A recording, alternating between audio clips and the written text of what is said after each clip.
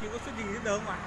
Không tôi phải xem được chuyên đề ngày hôm nay các anh làm gì Dạ vâng ạ, chúng tôi sẽ có để cho chị ạ. Mời chị lại đây. Dạ, hôm nay đều xuất trình được xe ạ. Thế chúng tôi phải cho anh đến bao giờ đây mời, mời chị đây tôi mời, mời chị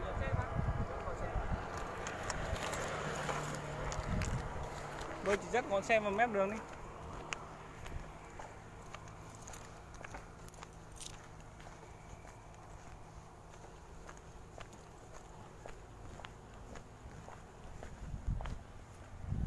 Tôi kế hoạch kiểm tra tuần tra kiểm soát nhé vi phạm quy định về Ờ để yên tôi xem đã. Tôi nói chị này. À chị xem được nhưng chị không có quyền Không quay. được, không quay. Không được, tôi có Chị quyền giám không sát quyền quay. Chị Không Kế được. này chị không Theo quyền quay. Các anh làm đúng công khai minh bạch lý do tại sao các anh phải giấu giếm. Không chúng tôi có cho chị Thế thì đương nhiên là tôi phải được xem. Chị có thể xem nhưng không Tôi được xem không được quay. Không được. Tôi thực hiện theo điều 8 Hiến pháp 2013 Tôi có quyền thực hiện quyền giám sát công dân Vâng. Các anh sống bằng giám sát tôi còn Các anh là- sống bằng thuế của dân Dạ vâng Chúng Thì tôi nhiên- phải có quyền giám sát Chuyên đề là ngày hôm nay các anh Chị có quyền giám sát. Vâng. Nhưng mà đối với kế hoạch chúng tôi chị không được quay ạ. Không được Không được còn liên ạ. quan đến Không thể như thế được quá trình tôi tuần tra. Về nguyên tắc nhá Tôi không vi phạm về bất cứ cái luật gì về giao thông cả Bỏ xuống. Tôi chấp hành đủ không Chị có thể không ghi âm những cái hình Các anh không có quyền tôi kiểm tra của tôi. tôi Anh bỏ ra để tôi xem cái kế hoạch cái chuyên đề ngày hôm nay. xem Mời- chị không có quyền quay. Không được. Tôi có quyền giám sát. điện thoại xuống. Không. Tôi không làm. Hình ảnh là không thể quay vào. Về nguyên tắc các anh sống bằng thuế của dân. Người dân có quyền giám sát Các anh. Tôi nói cho các anh nghe Không thể như thế được chứ. Giám sát chị không quyền quay nhé. Không được Đã là giám sát Tôi phải có quyền quay. Các anh làm đúng Người dân sẽ ủng hộ các anh hết mình. đúng có chuyên đề kế hoạch của lãnh đạo quân huyện chúng tôi nhá để kiểm tra kế hoạch 467 của con huyện Tiền Hải kiểm tra các ờ, xử lý vi phạm hành chính về bảo hiểm dân Sao sự chị của trẻ hành giới? Tôi Đấy. được cứ tôi xem đúng chuyên đề Thì Của Bộ Công an. Được. Quy định. Của công Thì- huyện Tiền Hải bộ công an chúng tôi đây công huyện Tiền Hải chứ không phải bộ công an. Công huyện Tiền Hải có quyết định. Đấy, kế hoạch tuần tra kiểm soát. Cái đấy đúng rồi. Đấy Nhưng mà trên quan điểm Chị bây giờ nhá xem cái cổng thông Bây tin giờ điện tử chính phủ đã có nhưng mà yêu cầu chấp hành nhưng chị không chấp hành. Không- không được, ấy. lý. Anh không có quyền lập biên bản của tôi Tôi có vi phạm ờ, giao thông đâu mà các anh có quyền lập biên bản của tôi Chị xem nhưng mà chị không được quay vào cái cái văn bản chúng tôi. Không được Bây giờ nguyên tắc chuyên đề các anh ngày hôm nay các anh làm gì chúng tôi phải được biết được biết nhưng chị không còn được quay Không Chị được xem thôi Tôi có quyền giám sát Và tôi phải có quyền được biết không Bởi vì tôi thực hiện theo bản thôi. Anh quyền gì anh giữ phương tiện của tôi? Tôi có quyền giữ xe của chị Anh căn cứ vào đâu anh giữ xe của tôi? Trình giấy tờ tôi giữ xe của chị. Anh căn cứ vào điều luật nào mà anh giữ xe, xe của tôi? Chị không được Còn nhá, Tôi xin nói nhá Điều 14 Hiến pháp 2013 nhá Quyền con người được xã, xã hội chị có được bảo vệ theo hiến pháp và pháp luật. Nhưng mà tùy Tôi hợp tác với các anh chứ tôi không chống đối. Đúng rồi Nhá Thế các anh cứ làm đúng đi. Tôi là hợp tác đấy. Không tôi phải xem chuyên đề. Tôi phải biết chuyên đề ngày hôm nay các anh làm cái gì. quay camera chỗ khác chúng tôi cho xem. Không anh cứ làm đúng đi. Tôi không muốn gây khó khăn với các anh. Bởi vì tôi nói cho anh biết là bây giờ tôi phải về Hải Phòng. Đường nó rất là xa Tôi không muốn ở đây tôi lằng nhằng với các anh. Không được. Không Tôi phải biết rằng bây giờ lý do tại sao bây giờ tôi rõ ràng tôi đang đi đường. Về nguyên tắc các anh khống chế tôi lại là các anh đã là sai. Bởi vì tôi không phạm cái luật gì trên quá trình tham gia giao thông cả. Chúng tôi có quyền kiểm tra tờ của chị Tôi không, các anh không có quyền chị không trình giấy tờ tôi là biên bản Anh nên nhớ là điều 21 Hiến pháp 2013 nhá. Mọi vấn Chị đề có liên quan. sát, nhưng mà đây kế hoạch chúng tôi chị không có quyền quay. Tôi đang nói điều 21 Hiến pháp 2013 nhá Là có quyền bí mật với mọi vấn đề liên quan đến cá nhân Nhá. Các anh không có quyền. Trong trường hợp tôi không vi phạm Tại sao các anh lại giữ xe của tôi? Và trong cái đó chuyên đề các anh làm. Giữ xe của chị. Chúng tôi có chuyên đề nhưng mà nó liên quan đến thời gian, địa điểm và Tôi không biết. đường của tôi. Tôi không nghe các anh nói như thế Mời các chị để điện Không. thoại xuống và có thể chị ghi âm vẫn được nhưng hình ảnh chị không được quay. Không được. Tôi Nếu thực mà hiện chị quyền mà không chấp hành chúng tôi lập quản lý phương tiện của chị lại. Không thể được chứ. Chúng Tôi nói là không thể được chứ. Không chấp hành nha. Các anh không căn cứ vào và các anh lập được biên bản của tôi cả. Tôi nói cho anh biết các anh đang làm sai. Chị không xuất trình được giấy tờ về người phương tiện của tôi sẽ là biên bản giữ phương tiện của chị nhé. Anh vô lý căn cứ vào luật nào anh giữ phương tiện của tôi? Tôi có căn cứ tôi sẽ có căn cứ trong biên bản của tôi. Tôi không Tại sao anh vô lý thế? Không có, có việc gì chuyện chị không nhận tôi không là bên bạn chị đâu nhé. Các anh không có quyền nhé.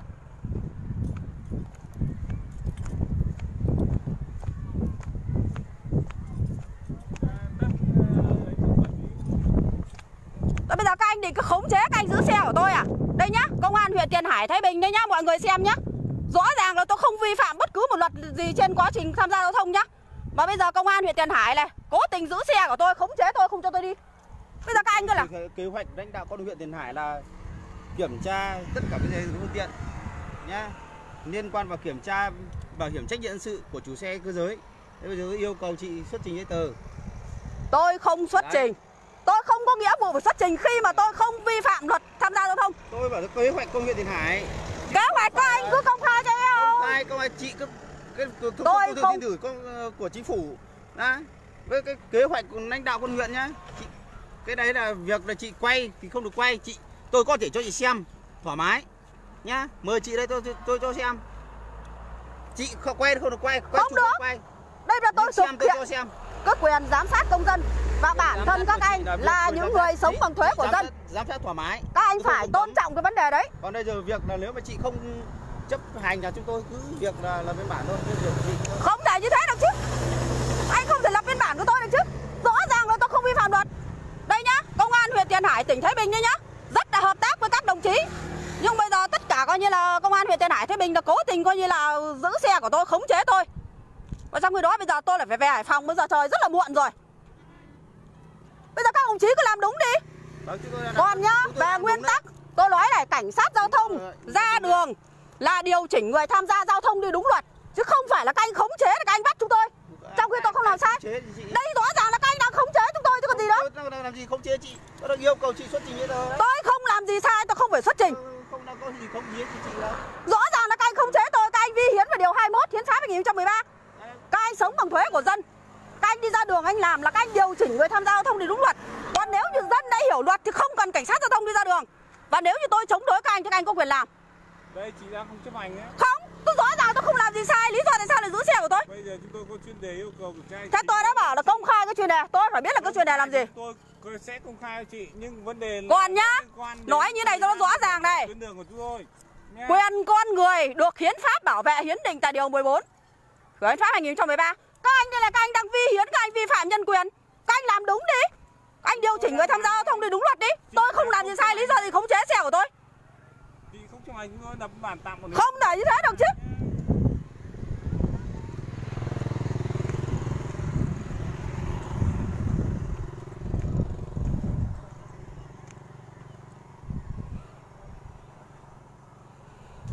Báo cáo bà con là hết cả hơi rồi Không thể nói được nữa mệt lắm rồi. Tụt hết cả hơi rồi Từ sáng giờ chưa được ăn cái gì cả. Mà bây giờ đây Công an huyện Tiền Hải là đang khống chế tôi đây.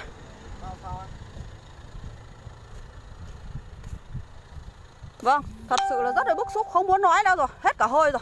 anh ơi chúng tôi liên quan này Thì đây em. Đây, anh đi xong anh ghép sát vào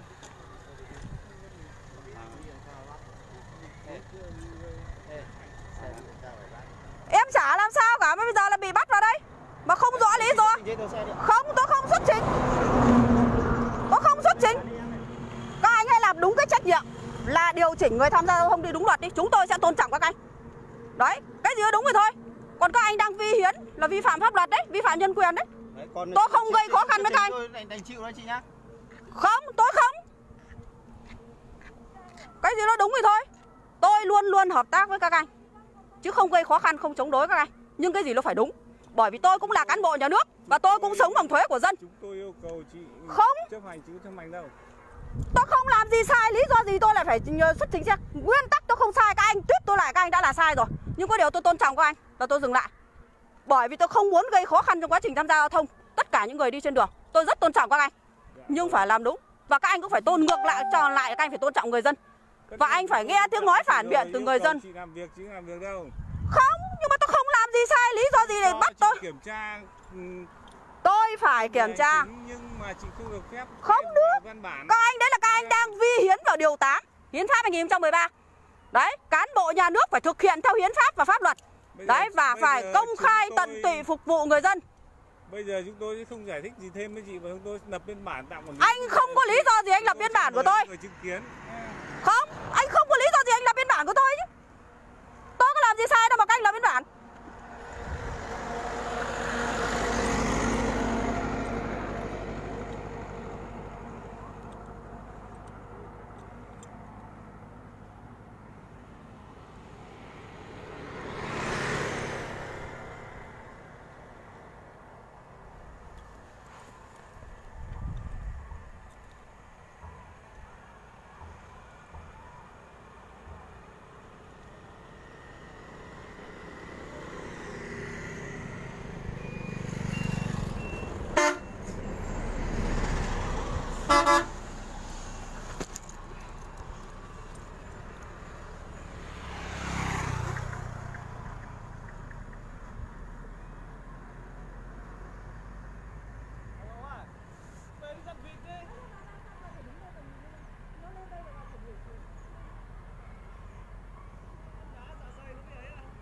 happy day.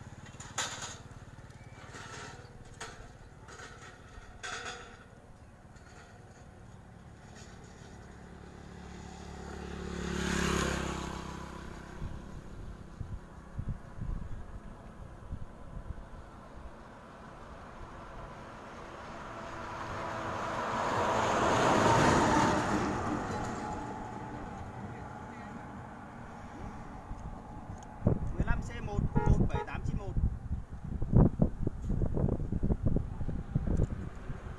Các anh đừng có cố quyền là cố tình làm sai. Tôi nói xin nghe nghe là bây giờ cứ căn cứ vào luật tố cáo 2012 À 2011 là tôi có quyền tố cáo các anh làm sai đấy. Dạ vâng. Các anh đi các anh đang vi hiến vi phạm pháp luật đấy. Tôi nói cho các anh biết là như thế. Tốt nhất là hãy làm đúng trách nhiệm của mình đi. Tôi không sai thì để cho tôi đi. Tôi nói rõ là như thế. Chị có xuất trình giấy tờ đây nếu chị đầy đủ giấy tờ chúng tôi cho đi. Có lý do gì tôi phải xuất trình giấy tờ cho các anh cả? Tôi không làm gì sai cả. Lý do gì tôi phải xuất trình giấy tờ cho các anh?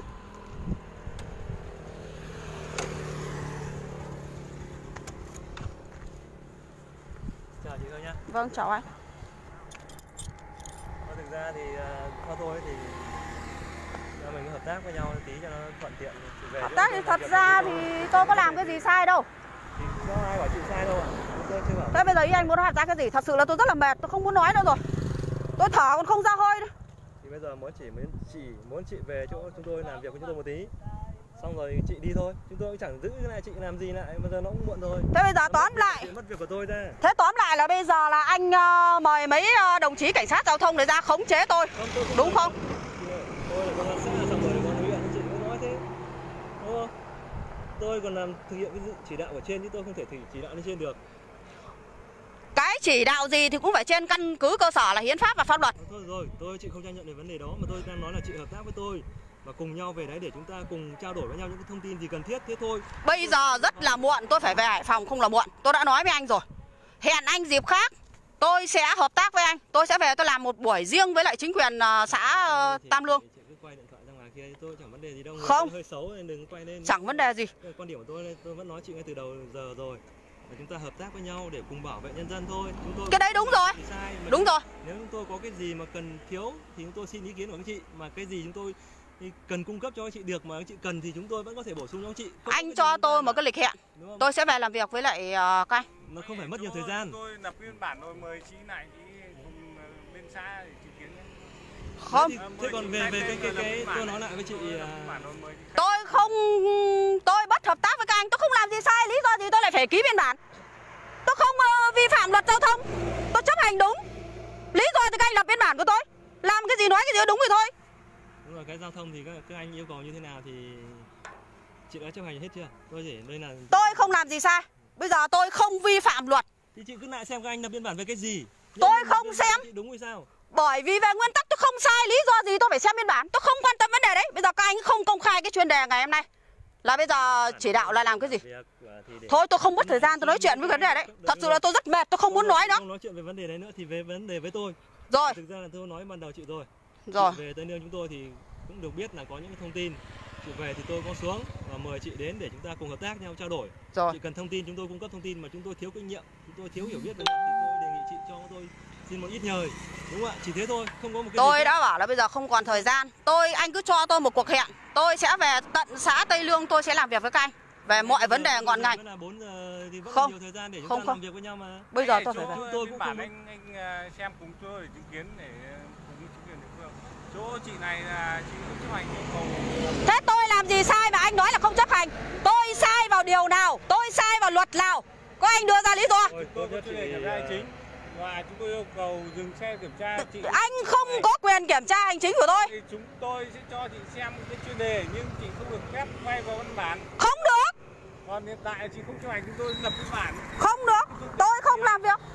Thôi, còn đối với này. hình ảnh của chúng tôi Theo bây tôi giờ ấy, hiện tại là chị có thì quyền giám sát quyền quay thuận cho cả nhưng chị. mà chị phải khai thông và tin để nó chúng tôi sẽ còn có rất căn là đơn cứ. giản thôi. Sau này chị việc cũng về gì với chúng nó tôi liên nó quan không có cái gì tôi. khó khăn với các chị cả chỉ trao đổi với nhau những cái gì cần thiết và sau khi chúng ta làm việc với nhau 5 10 phút xong là chị đi về chuyện bình thường không có vấn đề gì. Đi về nhanh khỏi chưa? Thế Để cho tôi còn làm việc của tôi. ờ,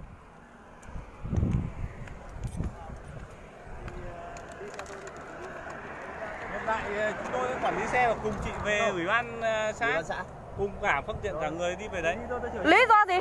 Đây mời chị về đi cùng ờ, chỗ anh về. Chúng tôi cùng đi về không không không có vấn đề gì cái phải xe căng thẳng cả. chúng tôi sẽ có trách nhiệm cho chị cái xe này được chưa? Tôi cam kết rồi chị. nào chúng tôi cùng đi về tôi chị chị cứ Đấy. chìa khóa anh ấy đi sau sau ờ, anh tôi đi chở chị đi đấy thôi. thế được chưa? Thoải mái chưa? Thế lý do gì các anh phải về xã để làm gì? Trách nhiệm của anh đang làm luật ở trên trên tuyến đường này cơ mà. chị bây giờ chị không không khai tên tuổi không chấp hành yêu cầu thì đương nhiên là cái việc đưa về xã làm việc là việc đương nhiên Dạ, rồi. cùng là với chính quyền địa phương đây không bức xúc nhau không không việc gì căng thẳng với gì nhau phải cả. Có bản tại các anh không chúng tôi có làm gì đâu mà chị bảo tại chúng tôi Cho tôi chưa làm điều gì mà chị bảo tại của tôi chị, cả. Bây giờ chúng các anh làm việc với tôi trên cơ sở phải căn cứ theo hiến pháp và pháp luật. Được rồi. Ok Chúng tôi sẽ không- làm việc. Được rồi thì đi. Đây giờ chị ngồi đây tôi đèo chị đi đúng không? Ạ thế còn các anh ấy đã dừng chị lại. Anh, các anh có trách nhiệm và tôi cũng sẽ có trách nhiệm bảo lãnh những cái xe này cho chị về tới nơi tí nữa trao trả cho chị nếu không có gì sai phạm. Rõ ràng đúng không? Chúng ta làm việc với nhau trên pháp luật Còn cơ